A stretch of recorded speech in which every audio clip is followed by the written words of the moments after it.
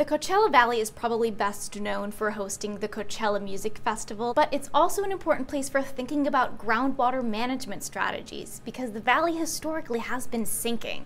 Between 2007 and 2011, the Coachella Valley sank or subsided 10 centimeters due to groundwater pumping. When you take out too much groundwater, it causes the sediments to compact and the land surface to sink. We can monitor this land surface change with remote sensing techniques like INSAR, which uses signals from satellites. The Coachella Valley started pumping groundwater in the early 1920s for agricultural, municipal, and domestic water use, and for some time this water use was eased by the introduction of Colorado River water in the 1950s. Demand increased in the 1970s and resulted in continued subsidence and lowering of groundwater groundwater levels until 2010. In good news, water management projects in the Coachella Valley have helped groundwater levels improve and subsidence slow since 2010.